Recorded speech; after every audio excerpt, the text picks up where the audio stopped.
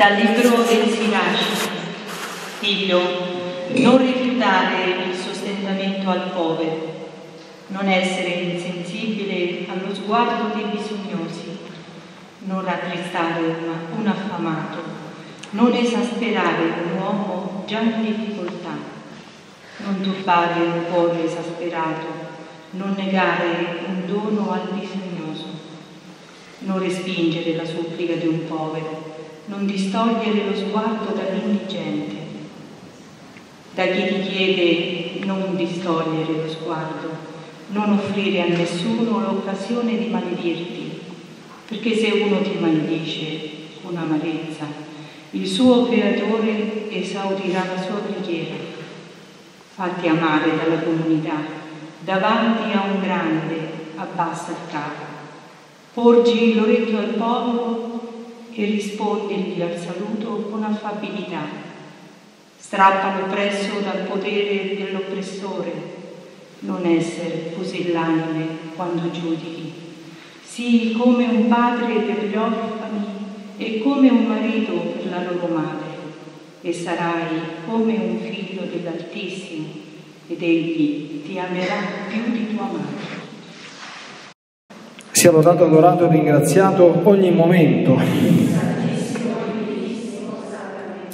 Il testo che abbiamo ascoltato, tratto dalla prima parte del quarto capitolo del libro del Siracide, ci istruisce, ci ammaestra, ci sprona, ci esorta, ci sensibilizza sul tema dell'attenzione alle varie situazioni di sofferenza e di indigenza corporale o spirituale in cui può il nostro prossimo. È un tema importante perché fa parte del secondo grande comandamento. Il secondo grande comandamento è certamente subordinato al primo e questo non dobbiamo mai dimenticarlo anche perché è il primo comandamento a dare il tono e il là al motivo per cui noi siamo attenti alla necessità degli ultimi, lo facciamo per amore di Dio, per cui, perché Lui vuole che si abbia questa attenzione, perché Gesù ci ha ricordato che i poveri ce li lascia sempre con noi, perché abbiamo occasione di beneficarli e soprattutto perché riconosciamo nel, in ogni essere umano l'immagine, la somiglianza di Dio, la sua presenza e particolarmente in tutte le situazioni di sofferenza ricordando che Gesù ha preso su di sé tutti i dolori e tutti i mali presenti nel mondo ed è stato umiliato, disprezzato, vissuto come povero. Quindi è importante che noi cristiani qualifichiamo sempre in senso soprannaturale la nostra comunque doverosa attenzione ai, agli ultimi, ai cosiddetti ultimi. E Un'attenzione appunto che però ci deve essere, eh, la cui mancanza dà luogo a, a tanti peccati di omissione e come abbiamo ascoltato anche a delle conseguenze nefaste, ecco, negative. Eh, quella che abbiamo ascoltato è parola di Dio, quindi la parola di Dio deve essere sempre lampada dei nostri passi, luce del nostro cammino e bussola ecco, della nostra vita. Non rifiutare il sostentamento al povero, non essere insensibile allo sguardo dei bisognosi. La Chiesa ha sempre insegnato delle cose semplici e chiare nella sua cosiddetta dottrina sociale. Nel mondo certamente esistono i poveri ed esistono i meno poveri. E il motivo è molto semplice, perché il Signore vuole che chi ha di più, volontariamente, liberamente, si faccia carico di chi ha di meno, in modo tale che chi ha di più eserciti la carità e chi ha di meno eserciti l'umiltà e la gratitudine. Questo ve l'ho detto in termini semplicissimi adatti ecco, a un contesto di meditazione come l'attuale, non catechetico. Il molto, l'abbondanza che noi abbiamo, insegna ancora la Chiesa, il Signore ce la dà perché sappiamo santamente amministrarla e anche qui entra in causa la nostra libertà, perché la grande differenza che c'è tra la carità cristiana ecco, e l'esproprio proletario, ecco, che sappiamo che aver avuto molto successo in tempi passati e in qualche circostanza anche in tempi presenti, è questo, che non ci sono forzature, però c'è la profonda responsabilità che noi abbiamo davanti a Dio dell'uso che noi facciamo dei beni di questo mondo. Beni di questo mondo che certamente dobbiamo considerare in parte, specialmente se sono eccedenti il nostro bisogno, come appartenenti ai poveri, evidentemente però spetta la nostra libertà accogliere queste esortazioni e agire di conseguenza. Non si tratta soltanto di sfamare gli affamati, anche se dobbiamo farlo e oggi abbiamo dei mezzi abbastanza sicuri perché ci sono, ecco, se uno desidera fare intelligentemente del bene, quindi non soltanto sovvenire con le nostre elemosine occasionali il povero che incontriamo per strada, cosa comunque assai buona e lodevole, però ci sono delle intermediazioni molto attendibili, molto sicure, che fanno tantissimo bene nel mondo, dove sappiamo insomma, che certamente un'offerta fatta in quel modo giungerà a buon fine, veramente ci saranno degli affamati che saranno sfamati e dei poveri a cui sarà restituita una minima di dignità essenziale per vivere, no? Non solo il pane e l'acqua, ma anche un tetto, ma anche un minimo di istruzione, importante. C'è una sensibilità da avere anche verso le sofferenze spirituali del prossimo, non esasperare un uomo già in difficoltà. Quando vediamo una persona in qualunque tipo di difficoltà interiore, ecco, facciamo in modo di non metterci mai il cosiddetto carico da undici, perché non c'è soltanto dai da mangiare agli affamati, dalle opere di misericordia, ma anche e consolare gli afflitti, non caricarli di altri pesi, no? Non turbare un cuore esasperato, ancora, no? Un'attenzione che dobbiamo avere, noi purtroppo non sempre ricordiamo nelle nostre relazioni interpersonali, anche familiari, un esempio proprio spicciolo, se un marito vede tornare una moglie che sta già nera o viceversa, insomma, eh, sarebbe bene non andare, quindi essere capaci di comprendere e di farsi vicini, di farsi prossimi, di non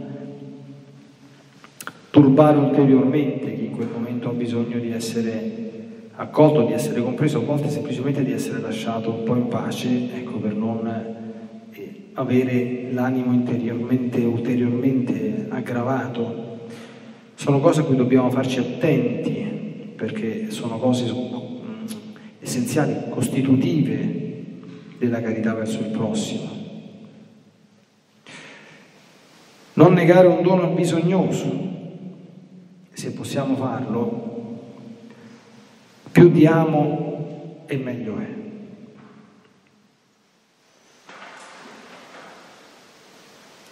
Da chi ti chiede non distogliere lo sguardo, qui c'è proprio un eco di quello che avrebbe detto Gesù nel Vangelo, no? da a chiunque ti chiede.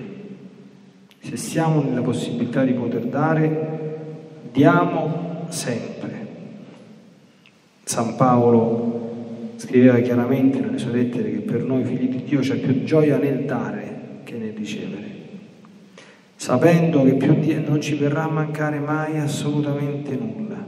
Questa esperienza di tutti quanti i santi che hanno fatto questo, queste cose anche a livello eroico, insomma, veramente togliendosi il cibo da, dalla bocca o i vestiti di dosso per sovvenire alle necessità di chi gli capitava davanti. Ecco. E di tutto sono morti tranne che di fame e di freddo. È piena la storia della Chiesa di queste testimonianze. Ecco, poi quando ci sta qualche poveraccio che sta proprio esasperato, se gli, se gli togliamo lo sguardo da lui, ci giriamo dall'altra parte, questo ci manderà qualche accidente, detto proprio... E le parole che abbiamo ascoltato sono un po' preoccupanti, eh? Non offrire a nessuno l'occasione di maledirti perché se uno ti maledice con amarezza, il suo creatore esaudirà la sua preghiera. Dobbiamo fare attenzione a non dare occasione di maledirci. Dobbiamo ricordare queste, queste parole perché tante, in tante circostanze a volte capita, ne abbiamo esperienza tutti, magari c'è qualche bisognoso un po' inopportuno, un po' fastidioso, un po' troppo insistente. Ma se gli, se gli distogliamo lo sguardo questo ci manda un accidente. E se ci manda un accidente, qui ci stanno scritte insomma delle cose che sono a mio avviso un pochino preoccupanti, quindi è meglio ricordarle per evitare di trovarci nei guai. Fatti amare dalla comunità, qui c'è un, una fonte ispiratrice di un pensiero tipico di San Giovanni Bosco. San Giovanni Bosco diceva sempre studia di farti amare. È meglio essere amati che temuti. Fatti amare dalla comunità. Questo non vale soltanto per un prete che sta appunto a capo di una comunità, ma vale anche per ciascuno di noi. La comunità si può anche intendere come il consorzio civile, come la comunità dei nostri familiari, dei nostri parenti, L'amabilità, quindi imparare uno stile che sia dinanzi al prossimo attraente, gentile, cortese, amabile, affabile, è certamente ecco, interpretare correttamente la volontà di Dio per quello che riguarda le nostre relazioni con il prossimo. E insieme a questo davanti a un grande dobbiamo passare il capo, perché quando troviamo qualcuno che è veramente grande, e grande non è chi è reputato tale, ma grande è chi è grande nella virtù. E quando troviamo qualcuno che è grande nella virtù, noi dobbiamo riconoscerlo senza nessun timore e dobbiamo tranquillamente dire questo è più bravo di me, questo è più santo di me, questo è più virtuoso di me. Io chino il capo dinanzi a lui e prendo esempio dalle sue azioni, dalle sue parole, dai suoi modi di agire, senza nessun tipo di sciocca estolta, e, mm, superbia, ecco, che si sente mortificata e cerca quindi di difendersi ecco, dal bene fatto dagli altri o di misconoscerlo, peggio ancora. Rispondere al saluto del povero con affabilità, anche quando salutiamo le persone, specialmente le più umili, piccole. C'è stato qualche santo che detto quando dai qualche centesimo in elemosina, fallo col sorriso, insieme al centesimo digli una parola, digli Dio ti benedica, digli buona giornata, ecco, digli ecco, mm, qualche cosa di bello, perché non è soltanto il gesto materiale, è anche quello che accompagna il gesto materiale nel sopvenire chi è in difficoltà. Ancora strappa l'oppresso dal potere dell'oppressore. Queste sono ecco, le opere fatte in difesa ecco, di chi è ingiustamente angariato e oppresso. E ce n'è una anche per i magistrati, non essere pusillanime quando giudichi. I magistrati non devono avere nessun timore dei potenti questo è il contesto chiaro del testo biblico, e se il potente c'ha torto e il povero c'ha, ragione, non bisogna avere paura di, di dirlo e di emettere sentenze conseguenti. Sii come un padre per gli orfani e come un marito per la loro madre, e sarai un figlio dell'Altissimo, no? Anche questa espressione, sarete figli dell'Altissimo, ci fa pensare al Vangelo, quando Gesù dice Amate i vostri nemici, fate del bene, prestate senza sperarne nulla e sarete figli dell'Altissimo. Ecco, i figli dell'Altissimo hanno in comune, cioè sappiamo che l'Altissimo largheggia, l'Altissimo non ha bisogno di nulla, la vita dell'Altissimo è semplicemente dare incessantemente dare tutto a tutti e spesso senza che nessuno gli dica grazie. È molto bella ecco, questa immagine e anche molto nobile ecco, di ciò che caratterizza lo stile dell'Altissimo e deve diventare un nostro stile.